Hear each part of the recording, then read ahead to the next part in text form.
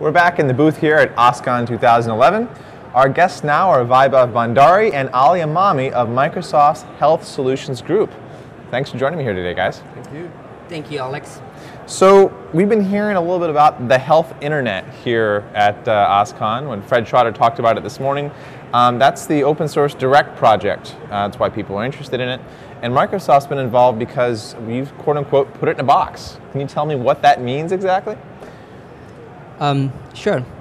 So, we have been involved with the direct project uh, since the early days when the Health and Human Services Department uh, wanted uh, the private industry to come up with a collaborative solution for enabling communications uh, between providers and patients uh, in a secure way. So what we have done is uh, we have implemented uh, in collaboration with Health and Human Services and plethora of other partners uh, a open source solution for this uh, project. Mm-hmm. Um, my colleague here, Ali, is one of the developers on this project and uh, he can also talk a little bit about uh, what direct uh, in the box actually means. Okay.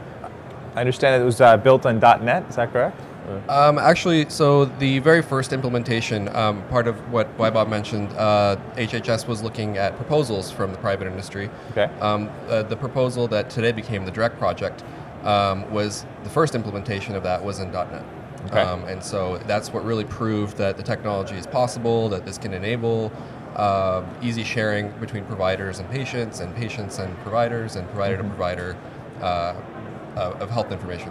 So that's the .NET stack was the one that really proved it first, but then since then um, there's also been a, an implementation in Java. Okay. Um, and other implementations because the, the direct protocol itself is a set of uh, standards and protocols. Mm-hmm. Other um, open source or other languages are possible.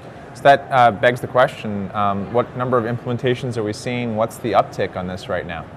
Uh, today, there's only the two implementations mm-hmm. um, that I'm aware of. That there's the .NET and there's the Java implementation. Um, we hold regular Scrum calls to to uh, further development, and we hold uh, regular biweekly meetings to make sure the Java stack and the .NET stack are in line architecturally and from a design perspective. So when we add something in the .NET, implementation. We also um, do our best to add it in the Java and vice versa. So we, we, we, collaborate pretty regularly to ensure they're they're both in sync.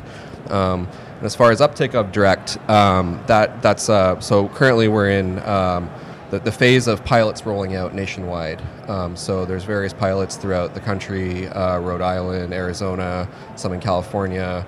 Um, and of course, there's production systems, uh, personal health record systems like, uh, for, for, example, Google Health, HealthVault that, have, that are mm-hmm. implementing the protocols um, and enabling real world provider to patient um, health data exchange, which is very, very exciting. Yeah, well, in, fact, yeah. Um, mm-hmm. in fact, Ali, Ali just alluded to this fact. Um, so, Google Health users can actually send their health information to Microsoft HealthVault seamlessly, mm.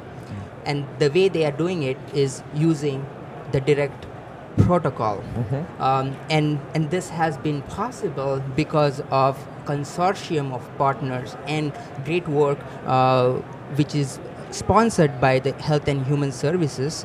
Uh, and we are able to move users from one provider, which is Google Health, mm-hmm. to other provider like Microsoft HealthVault by just a click of a button.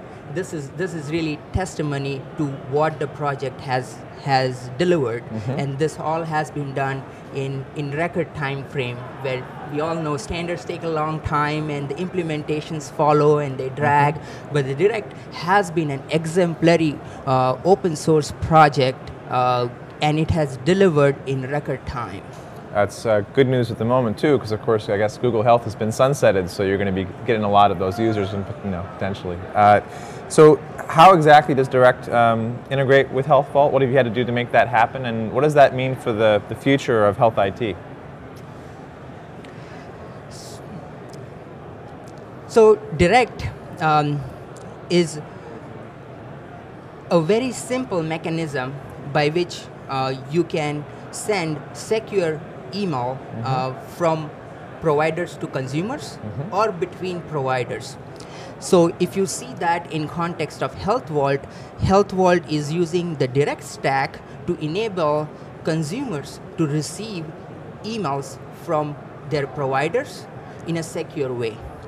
So simply put, uh, a user can go and sign up for a direct email address at healthvault.com um, and a provider can use that email address to send a secure email um, and in this case the email can have their care record, can have confidential medical information, um, and the way they would do that on their side is by implementing the direct stack and creating a trust relationship with HealthVault. And the way we want we want more providers to enable this. Uh, we currently have um, Care 360, um, uh, which is uh, done by Quest. Uh, communicating directly with HealthVault, and we want more providers to be able to do that. Mm. Um, and Ali can talk a lot in detail about how how the standards work and how easy it is to kind of have this track just work against with HealthVault. Sure. Yeah. So. Um, primarily, S/MIME is the fundamental technology that's, that's used. Um, S/MIME is a standard that's been around for 20 plus years, mm-hmm. proven, very secure. Um, however, the, one of the biggest, most cumbersome things with it is it's very hard to exchange certificates. So if I'm a sender, uh, so a, a pair of senders and receivers have to d- exchange certificates out of band. And so um, Alice wants to send a message to Bob, and um, he ha- she has to find Bob's certificate. And mm-hmm. so what the Direct project has really done, and one of the reasons that the, the uptake has been really successful, is we've made it really easy to exchange certificates using another proven technology, DNS. Um, now, so that's kind of the underlying technology. But in HealthVault specifically, um, well, one of the one of one of the things people mention when they hear oh email, it's people think oh that's a step backwards. It's it's unstructured data.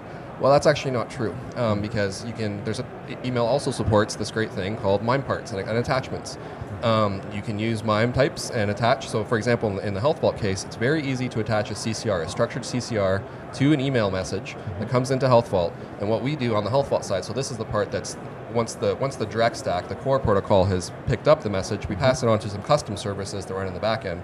EMR vendors would do something similar. But in HealthVault, we parse out CCRs and CCDs and HL7 messages, certain types of HL7 messages, um, and put those directly in the user's HealthVault record.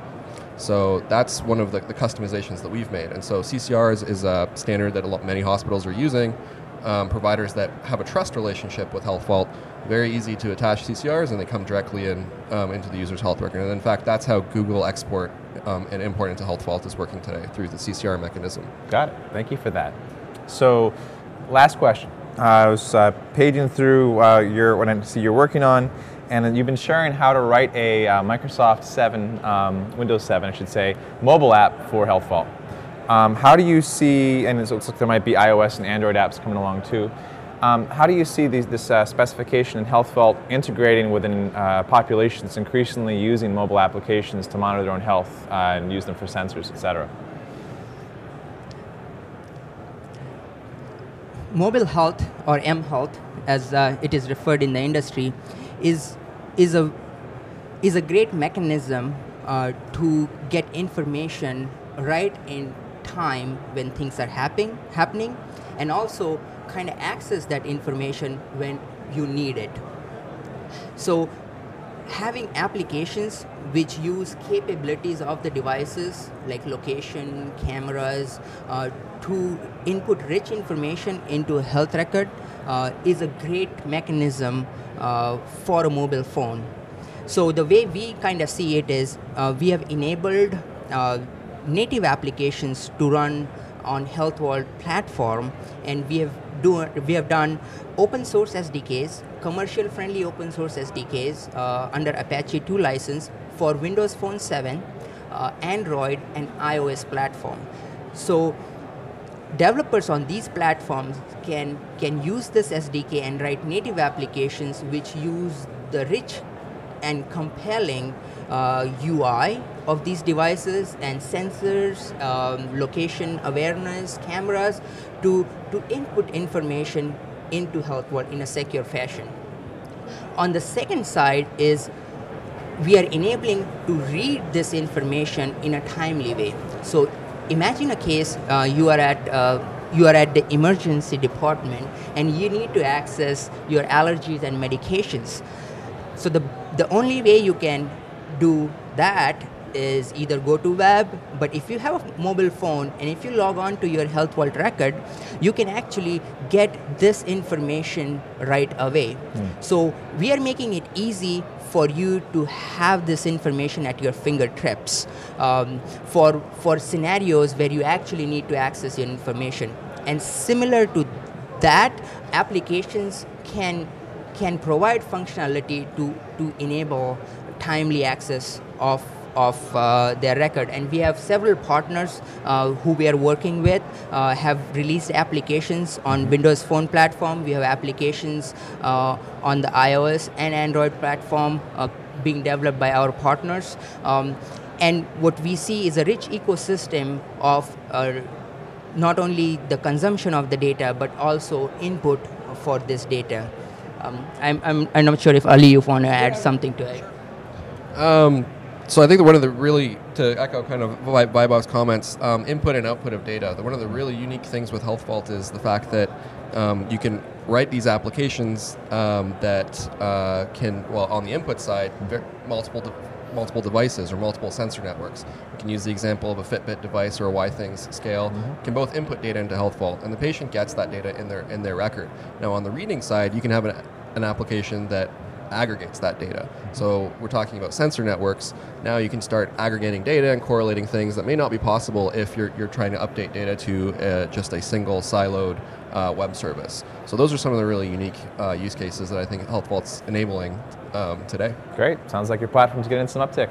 Yes. All right. Well, thank you so much for both of you for joining me today and talking a bit about the Direct project and HealthVault and how it's all coming together. Look forward to coming back in a year and seeing what's happened since. Thanks, Alex. Take care. Thanks a lot, Alex. All right.